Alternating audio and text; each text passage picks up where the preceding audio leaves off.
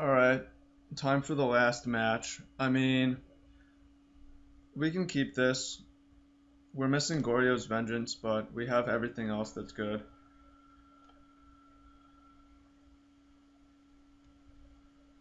Place triggered abilities on the stack.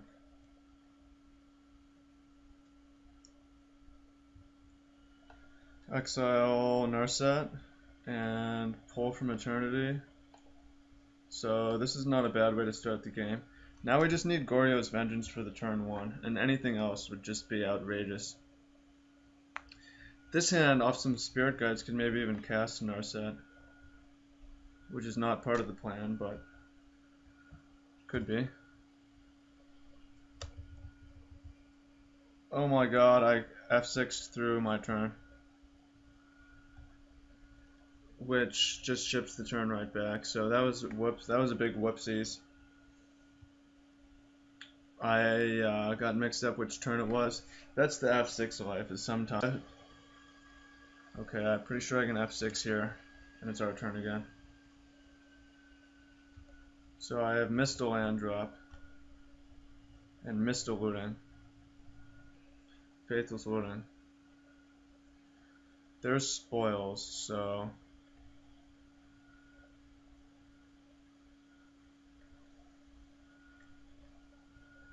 that shouldn't affect our kill speed. And if Goryo's, yeah, I mean, we still have a turn 3 kill coming potentially.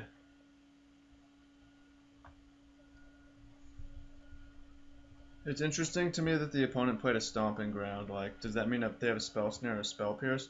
Does it mean that they have nothing? It's a suspicious play.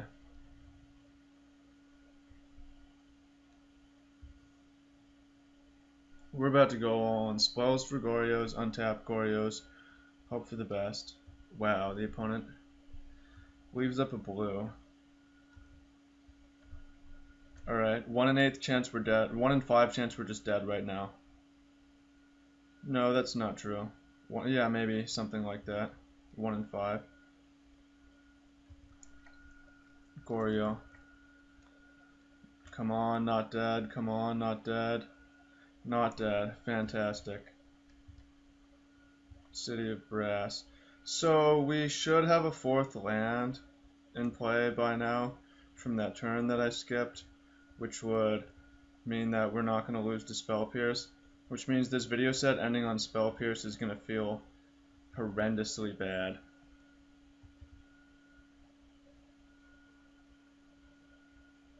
Soul Roll, here it comes again.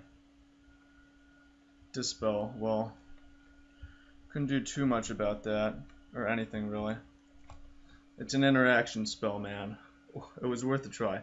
So, uh, to conclude this video series, I think this deck does actually kill turn 3 most of the time in solitaire. It seems that way. Though the thing about is how much Narset bricks is the thing. Um, it's a pretty interesting show. I'm definitely excited to take the draw first, gemstone cavern, pull from eternity, serum powder type thing, and put it in maybe a, maybe a fast Emrakul reanimator or maybe fast Griselbrand reanimator.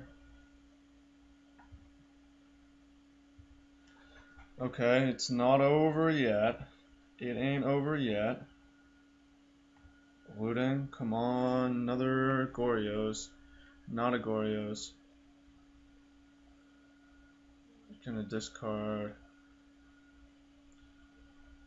this one and this one I guess.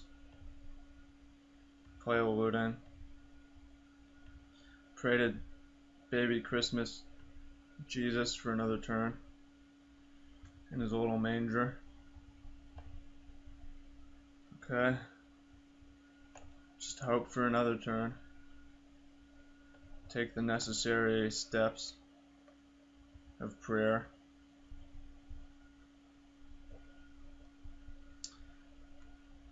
There's spoils, so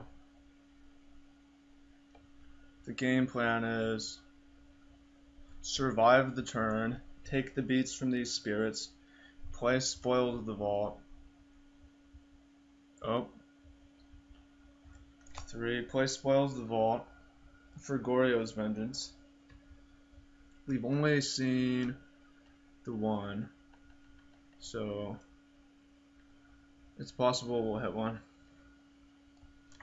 It's possible we'll hit one and the opponent zero interaction in that Fury of the Horde. We're going out with the bang, guys and girls. Spoils the vaulted 4 life. Goryo.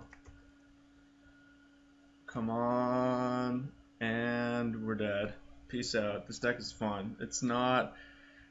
It's it's a goldfish experience. It's a solitaire experiment. So I would say that it's as fast as claimed, but that doesn't mean that it's good or that it wins. So peace out. Woo.